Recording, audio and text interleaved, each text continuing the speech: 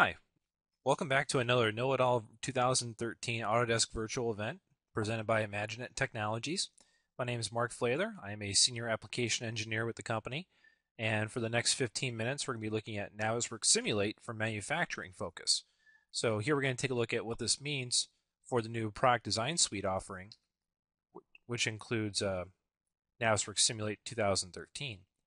This was added to the premium and ultimate versions of the product design suite and primarily it was added here for fast uh, loading of large assemblies for review purposes. It does actually load your entire assembly structure as you see there on the left. So this is great for extremely large data sets and as a viewer that has a little bit more information and as a null alternative to the DWF format. However, it is a lot more functional and we'll get into that in a moment. It is a large conglomeration of files though, so not only can this be inventor files, but this could also be Revit files. This could be other third-party CAD files as well. It doesn't necessarily have to be Autodesk that loads into this uh, system. There's actually two main formats that here we're going to take a look at. There's the NWD, which happens when files are all merged together into a large format file. And we also have NWFs, which are basically references in to the Navisworks environment. So that way, if the files were ever to change, a new NWF could be reloaded, kind of like an X reference. So it doesn't take as much time to load the entire uh, NWD. You could have just an NWFs referencing it in. What we'll take a look at here, though, is also the larger project management tools that Navisworks Simulate can give you that uh, just a simple viewer and review tool could not. There is actually an additional viewer, though, that is free for external and internal stakeholders. So you can share your NWD, your animations, your timelines, and also your, your review and markups with other third parties or other internal resources. So looking first at the project management tools, one of the most fascinating things about Navisworks is the ability to do 4D simulations. This is accomplished with what's called the timeliner. Essentially, we're going to create tasks such as construction of equipment, temporary demolishing, um, or full-on demolishing of, of equipment. And we could put this into Gantt charts. And what's great about these Gantt charts is anyone who's ever used Microsoft Project inherently has a great understanding of these. In fact, this will actually export right to Microsoft Project. So here you can do your start and your finish dates. You can put that on a timeline, and you can show your project going through the assembly and disassembly and the overall construction of a, let's say, a very large machine or a very large piece of uh, pick and place equipment. And this can also be exported out to an AVI for video animation, and it can also be viewed inside the, the Navisworks Freedom, which is the free viewer. As far as the other powerful tools that are inside of Navisworks Simulate. We have measuring tools such as converting things to red lines, uh, measuring shortest distance between components. We have text and revision clouds and ellipse drawing for uh, for markups. We can do comment bubbles as well. There's a full-on animator to do sa to save your animations to also be viewed in, into the Navisworks viewer. The publishing options have a whole slew of different formats we can save these out to. We can take our NWFs and merge them into an NWD, basically combining it to that other Navisworks file. We can also have password protection, so we can say that this is only a viewer that people can look at for seven days and they have to put a password in it, and after that they just can't look at it anymore. We can save things off to 3D DWF, to the to the Autodesk Filmbox or FBX file uh, Google Earth images, other rendered images as well. And there's also a pretty tight Vault integration here as well. So we have the Vault tab integrated with the Navisworks product as well to go with our data management solution. When we start looking at the Navisworks viewer, this is something a internal or external consumer of your data would want to take a look at. And here they can do things like sectioning. So they can actually section an entire uh, model to see through something to you know, make it more clear to them. Uh, you can actually look do their own measurement tools as well. Uh, as you notice, you can't necessarily redline here, but you do have measurement tools and ab ability to view comments. There is a timeliner playback here as well to go through that Gantt chart we would have created earlier. So next up, we'll take a look at some demonstration of the Navisworks product and essentially how well it loads data, because that's one of the, the biggest aspects of this software is how well it works with data, whether it's a, a large uh, single assembly or an entire assembly plant, if you will. We'll look at the timeliner as well as some of the review and markup tools.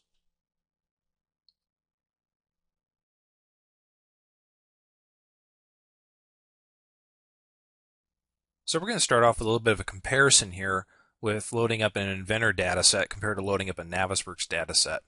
So I've opened up this large front loader, and in the lower right corner of my screen, you're going to see my, my total document and my total occurrence count just going up.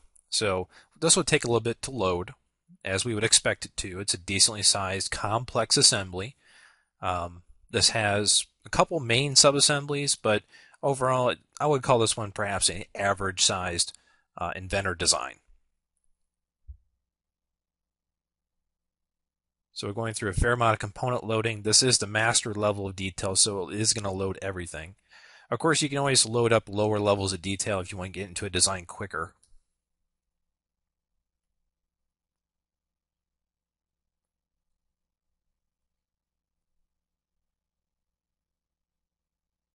But one of the aspects we really want to talk about with this uh, particular software, the Navisworks software, is not everybody will have access to Inventor as an internal or external stakeholder. So we can't always just rely on coming into the Inventor model to investigate it. So here we're going to just turn the model a little bit, get a feel for really what this model is.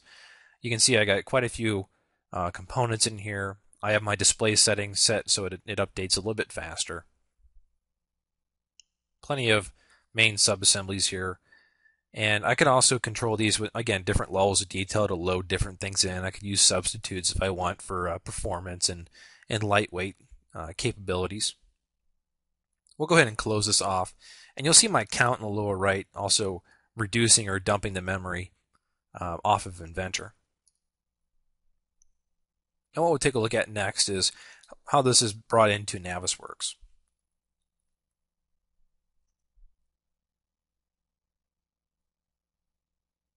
So the workflow usage here we're kind of looking at is, let's say perhaps this front loader has to go through a design change. And I need to review that before I start making any changes to Inventor. So I can take this to a design planning meeting to talk about the aspects of this.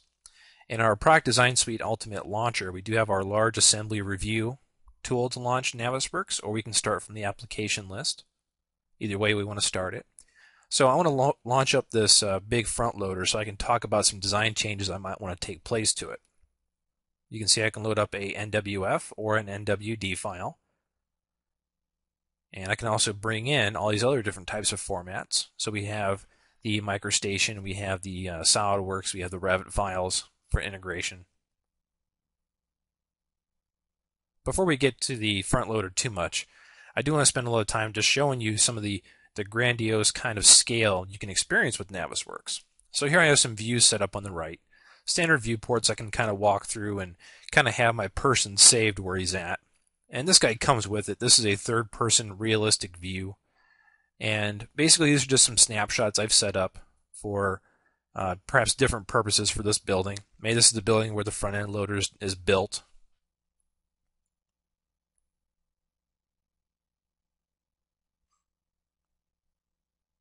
You can see these little items on the screen there, those little tiny squares. Those are actually keyframes for my animation, which we're going to show next. We're going to start perhaps animating through these things.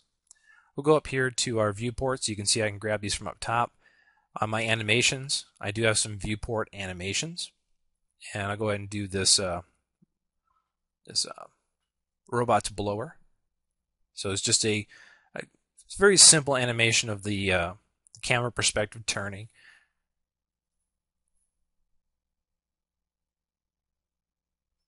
Now, in the lower right portion of this screen, we also have some other capacity meters, and this is how Navisworks measures capacity. You do have a couple meters down there that control um, whether or not Navisworks is trying to feel the, the data crunch, if you will. And if it does, it actually reduces uh, some of the detail, let's say that's behind you or too far off in the distance, for better uh, performance capability as you're going through here. No one else really does this as well as Navisworks does. There's other companies that uh, have claimed to do large uh, detail representations like this, large conglomerations of file data like this, but really in the end, when you look on this scale of system integrators and factory integrators, um, they all have a seat at Navisworks, regardless of what other CAD software they have. So lastly, I got one more animation here, just kind of flying through the plant. Again, giving some stakeholders a good idea of kind of what this place looks like. I want to just go back to the start here. There's also steering wheel control if you like using the steering wheel. Uh, I can go in here and adjust to fly or walk settings. And you can basically just move your mouse the way you want to move your person. As you can see on the right side, there's also other navigation tools, such as the ability to just stand where you are and kind of look around.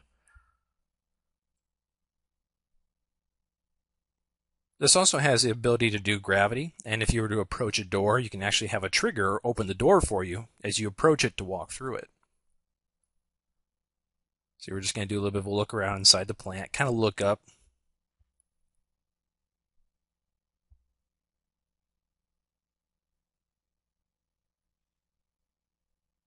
All right, let's take a look at something else. Here we're going to do an example of a 4D simulation. Here I have one of these assembly lines that was inside that plant just now. Or maybe this is just a simple um, well, I want to call it simple. This is something maybe we built as part of our subcontracting for this building. So what I've set up is a Gantt chart here that shows the construction phase, the tentative or temporary construction to in order to produce something before I can really finish something. You know, maybe I have to move something out of the way during that process. So I can basically go here and hit the simulate button and I'm going to kind of minimize this down a little bit and you can see the start date Sunday 130 2011. I know guys I'm living in the past. But we can go through here the days and we can see the loader, the package stations, the construction percentage of each one of these. And we can slow that down if we wanted to, but basically I'm going through the motions here of what my construction of this line would look like. What needs to come in first? What needs to come in second? What needs to be moved or repositioned before something else can come in? So it's basically going through this 4D animation for me. And there I am at the finish of my design. And you can play the storyline backwards if you want. Um, I'll do that in a moment. But here you can see on my configure, I have these three different stages that I call this.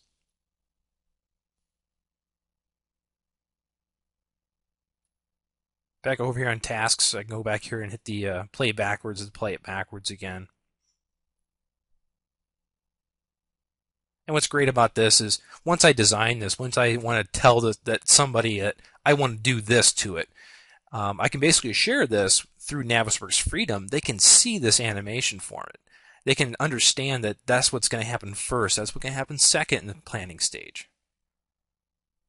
And then there's also, of course, the export to Microsoft project. So now we're back to this front loader. And you can control certain things here, like some very simple lighting controls to make it look a little bit sharper, give it a little bit of pop to it. Here you can see my entire history tree that was really duplicated from what you saw in Inventor. I can select a component here and it'll show me what that is in the tree.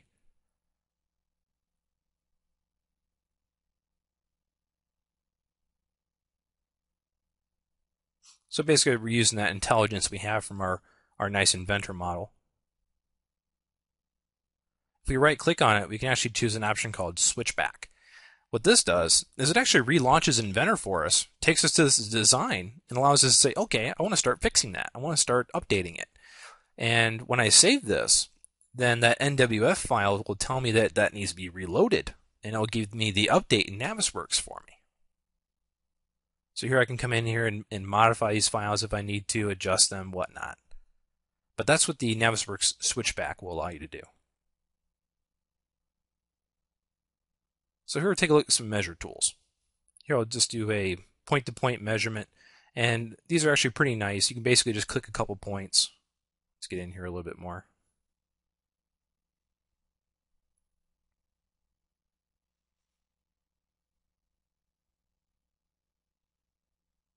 These can also be accessed from the top in the uh, ribbon as well, but if you want to grab them here, that's fine too.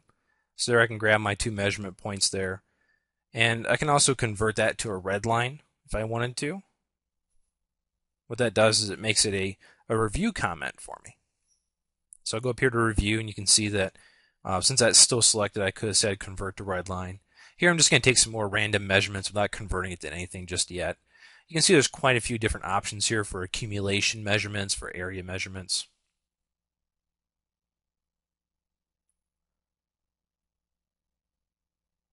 Here what I want to do is get a measurement between these two uh, braces.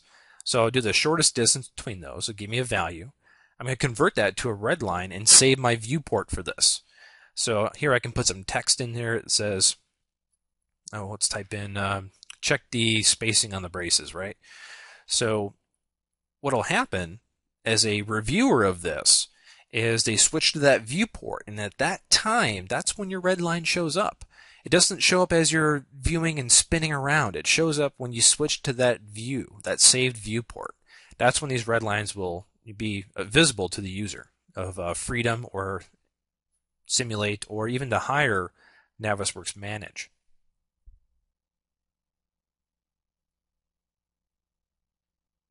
Now on this piece here, I want to run the inventor optimization on. So during my design planning stage with my managers, I'm going to say, you know what, this is something I really want to investigate more. I want to run an inventor optimization on this to kind of help reduce weight and, and still not sacrifice strength. So I'm going to put a note on here for our design team that that's what we want to do.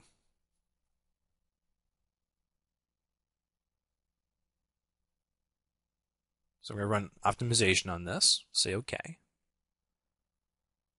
And then may draw in another line that just connects it to that.